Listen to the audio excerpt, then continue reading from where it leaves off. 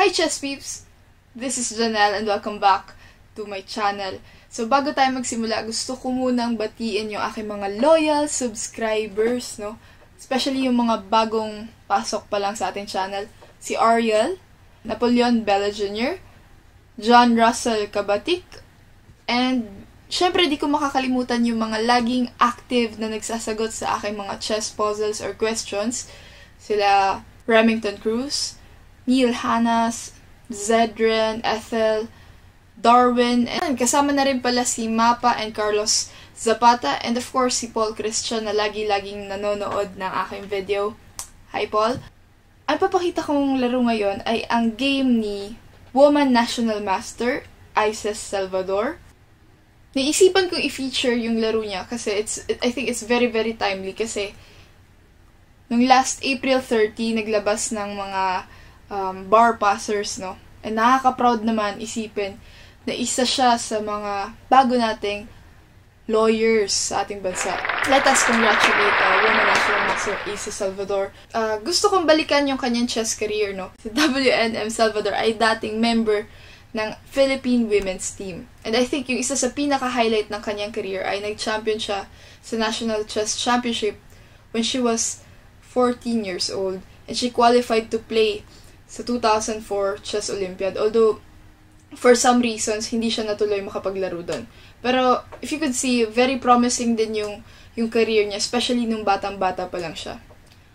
Ang nangyari lang dito, kaya hindi ko siya masyad, di ako makakwento ng mga personal experiences ko with with her because uh, ang katotohanan niyan, hindi kami nag-aabot talaga uh, maglaro, no? Because I think in 2000, 2009 or 2010, nag-stop na siya maglaro ng competitive chess. Samantalang ako naman, nags- nagsisimula pala ako maglaro ng uh, national level in year 2010.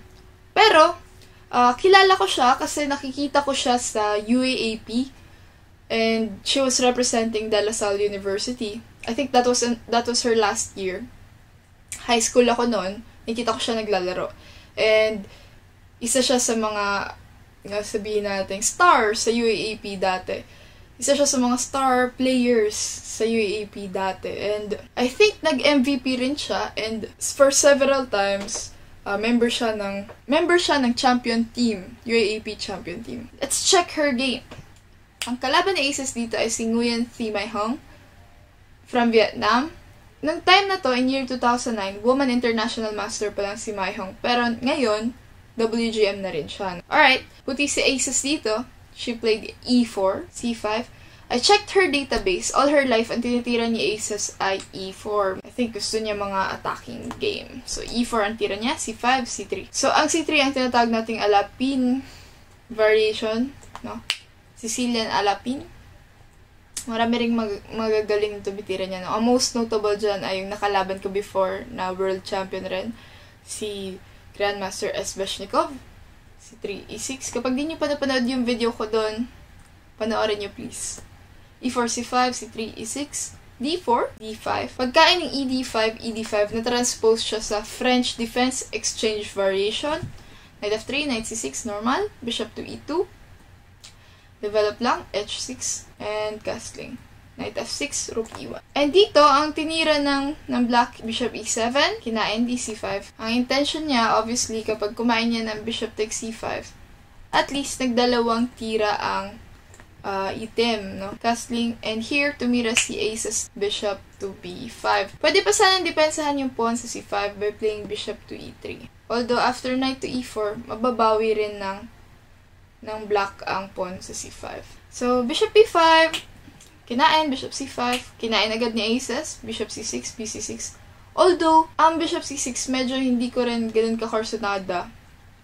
Generally, ang bishop b5 di ko talaga korsunada kasi yes, na pumangit ng konti yung structure ng black. Pero, nabigyan mo siya ng two bishops. And sa chess, ang two bishops ay malaking factor sa pag-assess ng position kung sino ba ang much better dito. Actually, to be fair, slightly better ang itim dito. Mira knight d4, dinipensan, queen c7, h3, bishop d7, bishop to e3, knight to e4, mm-hmm. develop lang, knight to d. Kung mapapansin mo, solid lang yung puti. Okay? Uh, gusto niya lang siguro uh, mapunta sa endgame na maganda ang kanyang pawn structure. Kasi, ito yung tinatawag din natin sa chess, isang idea, no? Nahati yung structure ng, ng black. Meron siyang tatlong pawn islands. So, ayan ang mga pawn dyan, H6, C6, D, D5. Ang tawag dyan ay pawn islands. Kita niyo naman, magkakahiwalay sila, di ba? Okay? Wala, pawn islands lang. Pero, kahit pa may ganun, medyo bungi ng konti yung position ng yung pawn structure ng item, it doesn't matter kasi middle game pa lang, hindi pa naman end game. And two bishops will be a great factor sana dito, okay?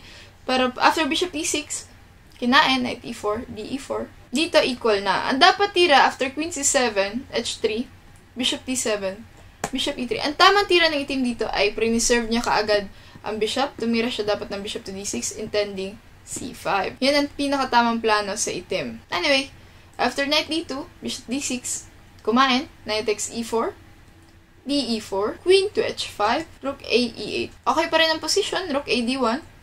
And here, nag-rook lift ang black. Inangat ang rook, rook e5, queen e2, rook f8, pumatong. Ang tawag natin dyan ay, of course, alam nyo na, battery. Rook d2.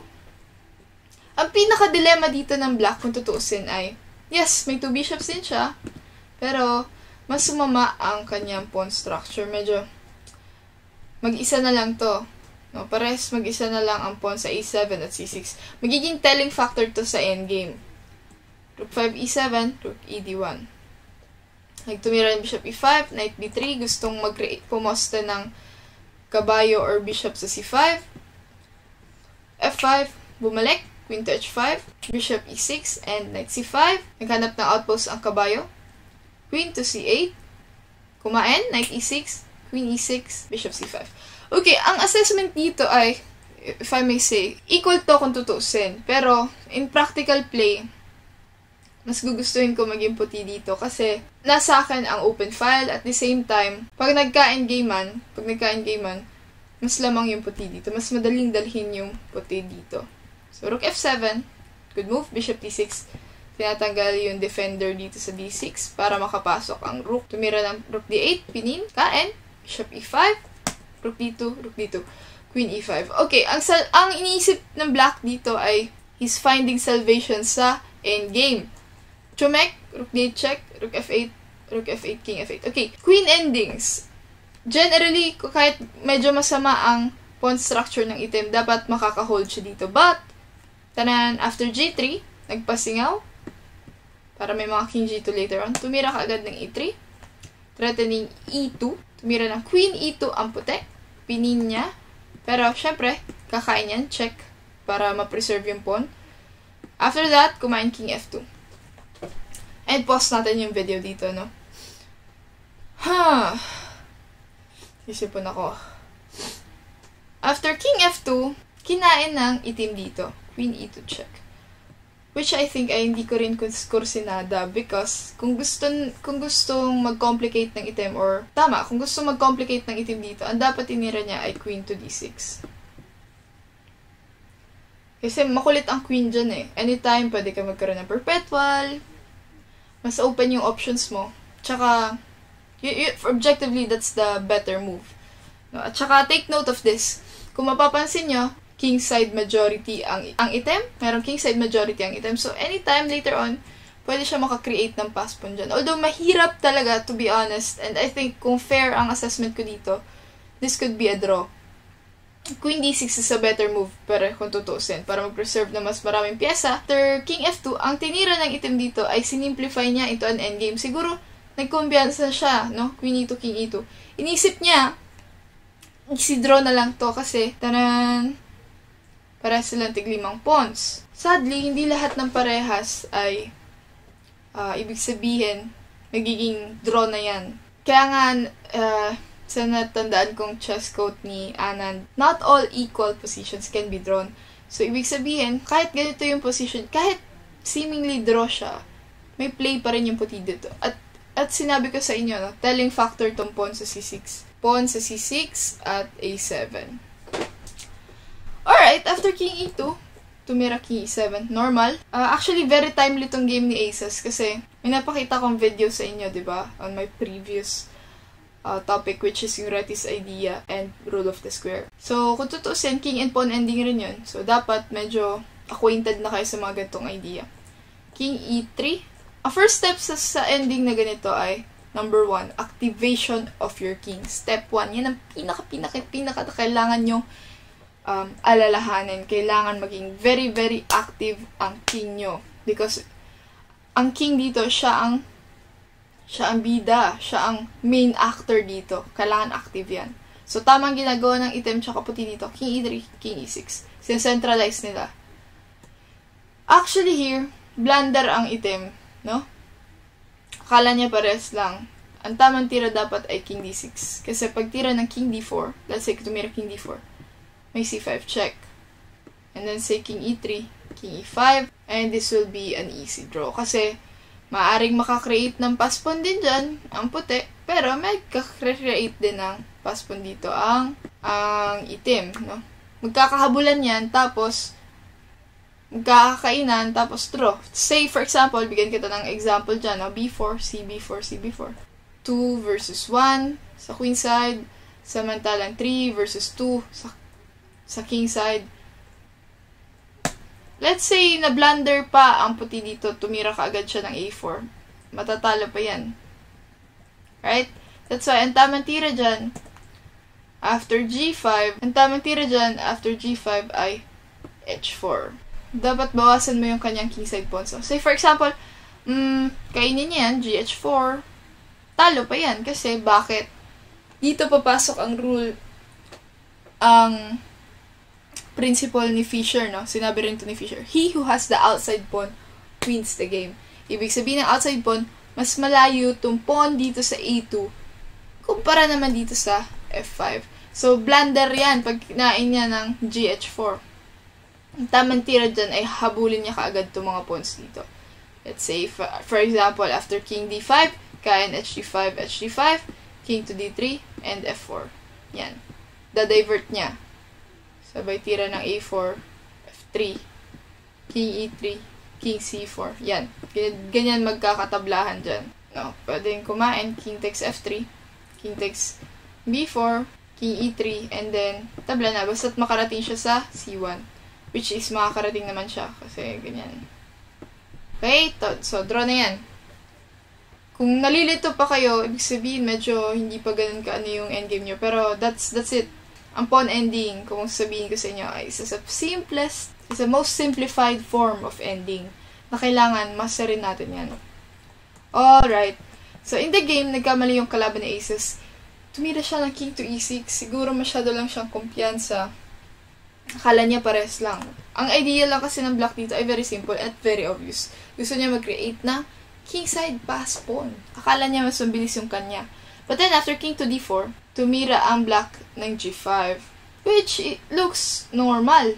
Pero ang good move dito sana to save the game ay c5 check. Fantastic resource, di ba? After king c5, king e5, c4, g5.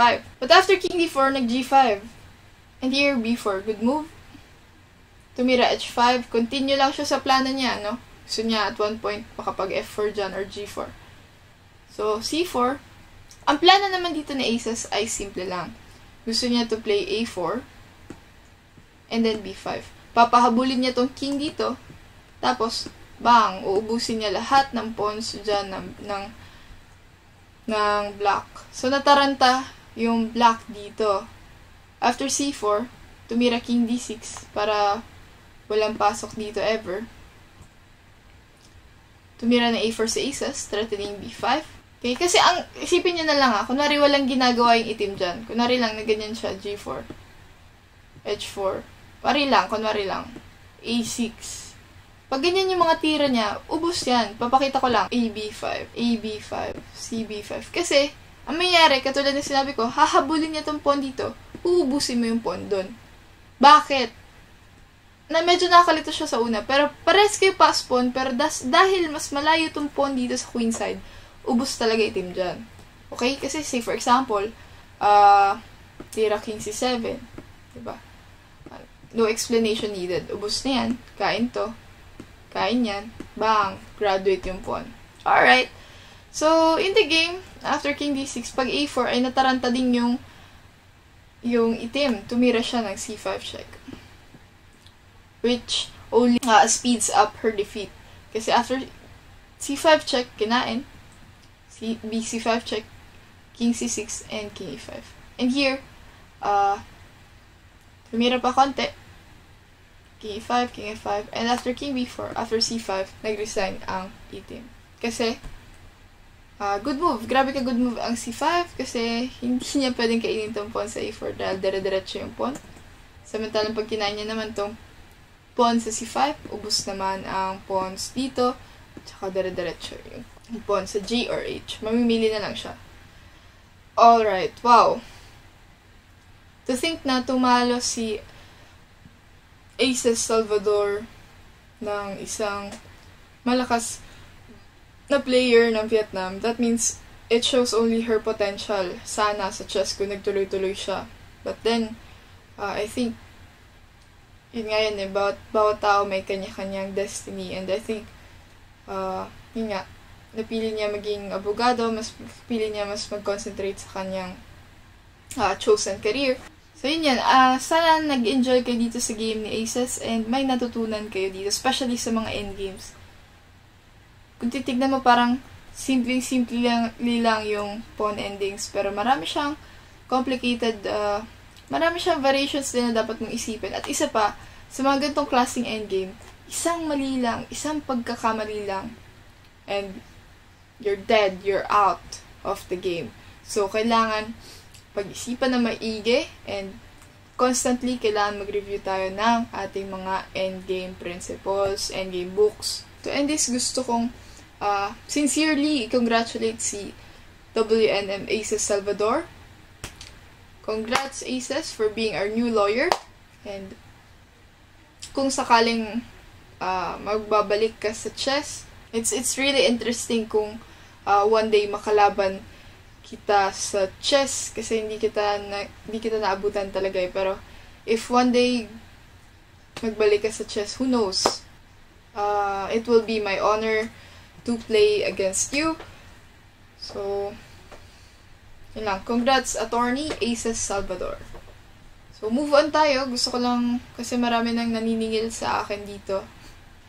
Marami na ang naniningil sa puzzle na ito, no? Papakita ko lang. Alright, so ito exactly ang iniwan kong puzzle yesterday.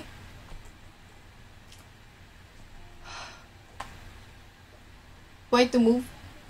Okay, maraming nakakita ng first move dito, no? Okay, tama si Remington. Nakita niya yung tamang move dito. But, uh, wrong assessment. Tumama rin si Paul, tumama si Neil playing h3. Marami yung tumama, no? h3 is the right move kasi after h3, ito tinatawag natin zugzwang. Definitely, kailangan ang best, best uh, move dyan ng black ay c5 hindi ko na-elaborate, no, IC5. Kasi, for example, nagpaduday siya, wala siyang ginawa after king to h5. King b1, c5, king a2, and after c4, king a3. Tapos, makakain yung pawn sa c4. By playing king b4, king c4. Alright, so, after h3, force na ang c5. King b1, good move. c4, king a2, c3. At may nakakita kong iilang player na umabot sa ganitong variation. King to b3. Double exclamation point to. Ibig sabihin, excellent move. Sobrang gandang tira nito, no? After king to b3, a2, ang forced uh, move, forced idea. Um, actually, walang nakakita ng uh, best defense ng black. A2 ang pinakatira dyan ng black. Kasi lahat halos tumira lang ng king to g3. Parang gusto nilang i-apply yung uh, hitting two birds with one stone natin yung Retis idea. Pero, hindi siya mag-work kasi pag F5, pag King F4 mo, try mo to habulin, push yan ng pawn, F6. And pag King E3 mo, or King E4 mo, hindi naman to yung, ka hindi naman itong pawn sa E3 ang kakainin, but this pawn sa C3. Therefore, after uh, F6, I'm sorry, after King B3, ang best move dyan na black ay A2. Tandaan niyo yan. E2. kailangan ma-recognize nyo rin pag nagsosolve tayo ng puzzle, yung best defense ng kalaban, and that is A2. Okay, sadly, wala nakakuha nito, itong variation na to. King A2, and here, King G3 by black, F5, King to F3,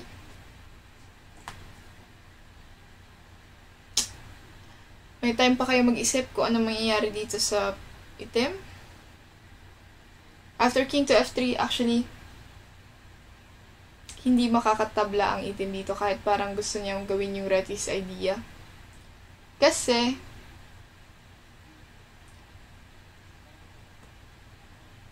king b1 ang good move. After king b1, tapos na ang laban kasi after king to e4, push yan sa f6. No way na ma tutulungan niya yung pawn na to because magiging c1 lang. Alright, so balik lang tayo dito sa position na to, no? After c3, king b3 ang super good move kasi pag kinain niya ng king a3 yan, dyan papasok ang reti maneuver, no? Or reti's idea. That is king to g3, good move para sa black. Atakado ang pawn sa f4. Mm-hmm. f5, good move ulit, king f4, atakado ang pawn sa f5. Push ulit, king to e3, king b3, nalapitan. And here, isang good move na lang sa item ang kailangan gawin. That is king to d3. Because, kung punta mo yan sa king dito, biglang iiyak ka ngayon. Because f7, c2, queen, and pag queen mo dito, taran, may queen h6 check. Sakit. Ubus ka ngayon, sabay push. So, pero pag king d3 naman tinira, push, push, queen, queen, walang problema. So, that would be a draw. Kahit may pawn pa dito sa h3. Okay? So, aha, may nakaabot sa king b3 talaga. May nakita kang umabot dyan. Very, very, very good. Kaya lang hindi nakita yung force na depensa. And that is a2. King a2, king g3. f5, king to f3, and king b1. Kahit hanggang dito lang sa, sa king b1, considered na sana. So, for this puzzle, I'm sorry to say, pero walang tumama. Aha. Uh-huh. Although next time, I'll try to give a, a much simpler puzzle para, or I will try to consider some variations next time, next puzzle, para uh, ayoko, nalulungkot ako pag, pag walang tumatama kasi gusto ko happy kayo eh. See you tomorrow. Bukas na ako magbibigay ng chess puzzle again. Thank you and bye.